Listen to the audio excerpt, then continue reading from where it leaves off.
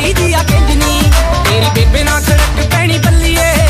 ਬੇਬੇ ਨਾ ਖੜਕ ਪੈਣੀ ਬੱਲੀਏ। ਜਦੋਂ ਜੀਨ ਸ਼ੀਨ ਪਾਇਆ ਕਰੇਗੀ।